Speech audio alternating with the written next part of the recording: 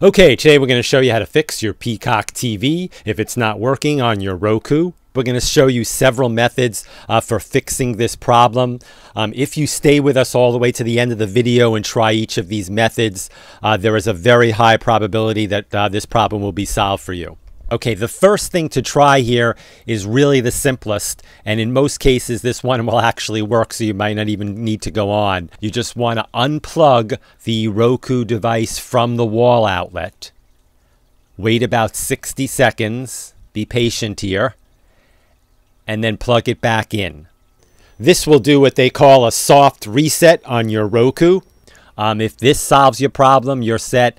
If not, let's go on to the next try. Okay, we're going to delete the Peacock TV app and then reinstall it back. To delete it, press the home button on the remote, select Peacock TV, press the star button on the remote, and then select remove channel. To install it back, press the home button on the remote, search for the Peacock TV app, and then select add channel. That's our video for today. As always, thank you very much for watching, and please remember to subscribe.